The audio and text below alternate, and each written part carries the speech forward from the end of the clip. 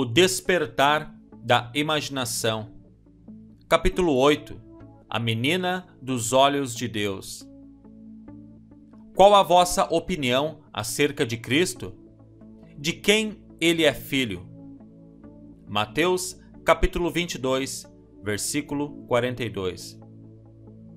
Quando esta pergunta for feita a você, deixe a sua resposta ser: Cristo é a minha imaginação.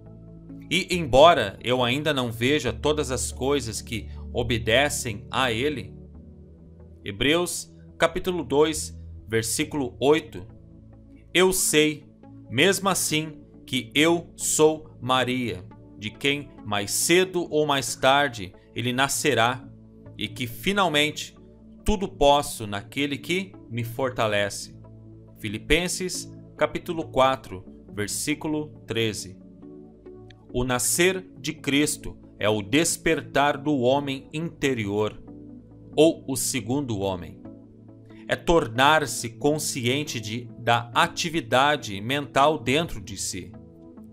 A atividade que permanece, estejamos conscientes dela ou não.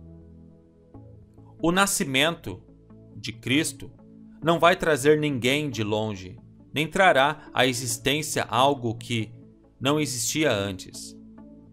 Ele é a revelação do Filho de Deus no homem. Eis que ele vem com as nuvens. Apocalipse capítulo 1, versículo 7. Esta é a descrição do profeta sobre os raios dourados de luz que emanam da cabeça de quem ele desperta. Ele vem de dentro e não de fora como Cristo em nós. Este grande mistério, Deus foi manifestado em carne. 1 Timóteo, capítulo 3, versículo 16, se deu desde o início do advento e é apropriado que a limpeza do templo de Deus, que sois vós. 1 Coríntios, capítulo 3, versículo 17, permaneça na vanguarda dos mistérios cristãos, pois o reino de Deus já está entre vós. Lucas capítulo 17, versículo 21. O advento é o desvendar do mistério do seu ser. Se você for praticar a arte da revisão por uma vida vivida de acordo com a sabedoria, com o uso imaginativo do seu discurso interno e das suas ações interiores, na confiança que, através do uso consciente do poder que em nós opera, Cristo despertará em você. Se você acreditar, confiar e agir com essa convicção, Cristo despertará em você. Este é o advento. Sem dúvida, Grande é esse mistério da fé. Deus foi manifestado em carne. 1 Timóteo, capítulo 3, versículo 16. E do advento em diante, aquele que tocar em vós, tocará na menina dos olhos de Deus. Zacarias, capítulo 2, versículo 8. O Despertar da Imaginação, Neville Goddard. Título original em inglês: Awakened Imagination. Publicado originalmente em 1954. Tradução: Eduardo Pereira. Narração: Misael Michel. O livro O Despertar da Consciência de Neville Goddard é uma série transformadora, contendo sete grandes obras de Neville Goddard. Dentre elas estão Ao Seu Comando, Sua Fé é Sua Fortuna, Oração, a Arte de Acreditar, O Sentimento é o Segredo, O Poder da Consciência, O Despertar da Imaginação e Tempo de Semear e Colher. Como eu disse, o Despertar da Consciência é uma série transformadora, é um volume único que lhe dará um novo ponto de vista na busca e na concretização dos seus sonhos e planos. Não subestime a sua capacidade de se surpreender. O despertar da consciência lhe fará encontrar muitas das respostas que você sempre buscou na vida. O livro O Despertar da Consciência de Neville Goddard é um livro que você precisa ter na sua casa. É um livro que você precisa consultar constantemente. O autor deste livro, Neville Goddard, nasceu na pequena ilha de Barbados. Ele é filho de uma família simples, teve dez irmãos. Em 1922, ele mudou-se para os Estados Unidos para estudar dramaturgia. Aos 17 anos. Nos anos seguintes, ele casou-se, teve filhos e mais tarde Neville conheceu Abdullah, um judeu etíope que pregava sobre o novo pensamento do cristianismo. Neville se aprofundou por anos nos estudos das interpretações bíblicas e nos ensinamentos de Abdullah e escreveu alguns livros. Em 1943, aos 38 anos, ele foi convocado para o exército americano para servir durante a Segunda Guerra Mundial. Por já ter uma família e por se considerar velho para a missão, Neville, através de sua imaginação, como ele mesmo relatou, ele conseguiu ser dispensado do exército, de maneira honrosa, após poucas semanas de treinamento. Neville viajou por todos os Estados Unidos por anos, ganhando reconhecimento pelas suas ideias, livros e palestras. Ele mudou-se para Los Angeles em 1950, onde viveu e desenvolveu ativamente o seu trabalho como autor e palestrante.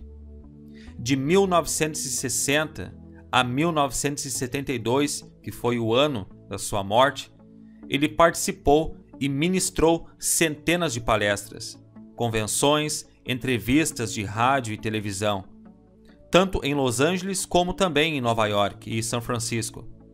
E como resultado, ele deixou um imenso legado de material de revelação e conhecimento para todos aqueles que buscam o autoconhecimento e a plenitude da vida. Pergunte para você mesmo: o que você gostaria de realizar se todas as coisas obedecessem aquilo o que você determina? Os desejos do homem por uma vida mais ampla mais próspera e mais abundante, não devem ser vistos como algo condenável, mas sim como dádivas de Deus. Na verdade, eles são a vontade de Deus procurando manifestar o seu poder de criação e expressão através da consciência humana. Este é um livro para sempre se recorrer. À medida em que você pôr esta sabedoria em prática, realizando as suas obras interiores. Não se trata de algo como mágica. Isso não existe. No entanto, quanto mais você ler e reler o despertar da consciência, cada vez mais você encontrará as chaves para alcançar a plenitude em sua vida.